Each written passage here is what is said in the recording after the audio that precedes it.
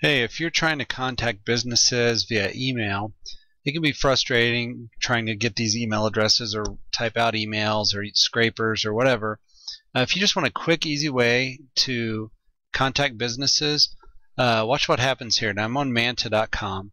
If you find a uh, business that has their email, most of the verified uh, email or verified listings do, what you can do is watch what happens when I click my little button up here we're now mailing to, I'm using read notify, so I'm going to be notified when they open their email or read it. So now what happens when I click this?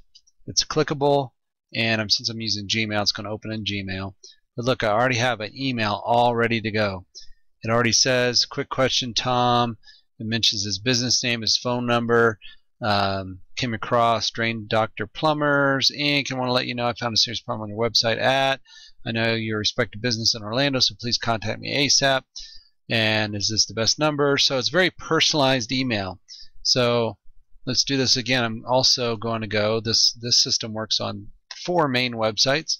So first one was Manta. Now we're on uh, Yellow Pages. So if I click the button again, now when I click the email business link here, it's going to open up in my Gmail again. Now it says, uh, quick question. Notice it does have the first name because the first name wasn't on the page. It's not available on that website. So, uh, but it also it mentions, I know your respective business in Colorado Springs.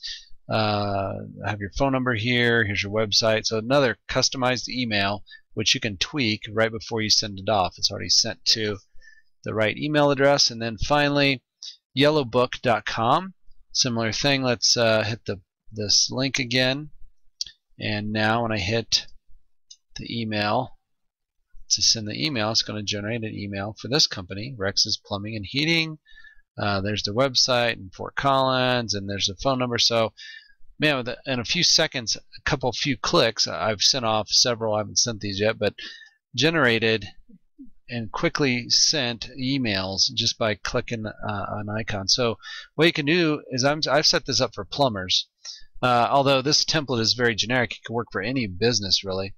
But uh, if I go into my, uh, this is a WordPress plugin that generates this. So the way this works is you create your template. You can use spin Spintax. You can use merge fields for first name, business name.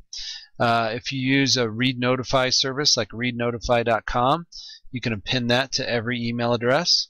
Um, otherwise, you just leave that blank. Here are the four websites it works with best. And then once you do that and save it, you're going to get a bookmark. All you have to do is click and drag that up to your tool, your bookmarks toolbar. So now that when, you're on one of these sites, you can click it.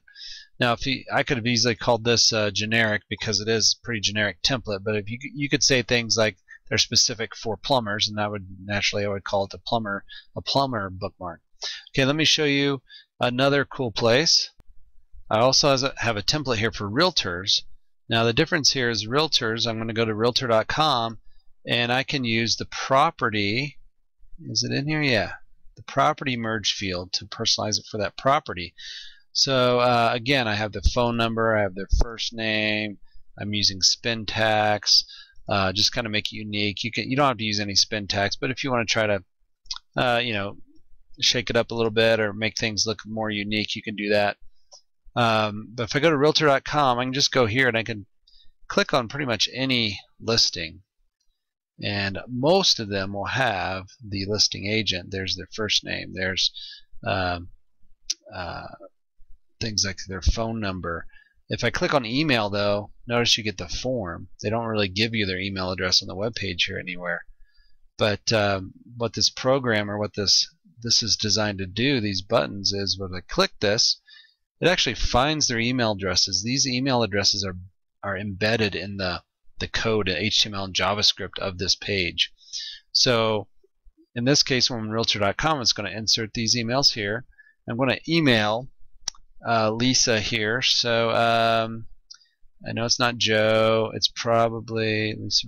It could be, you know, uh, this is probably a good one here. So if I click on this, it's going to jump into my Gmail and you're going to see quick question Lisa hi Lisa I was looking at your listing for 5 Heather Circle and had an idea uh, love to chat with you is this your best number so grab your phone number that type of thing so uh, boom another email done. So uh, uh, this is just a super fast way to contact businesses. Uh, there's another video. I go into more detail and ramble on a bit more, but uh, hopefully this one gives you the idea of what's possible. All right, thank you.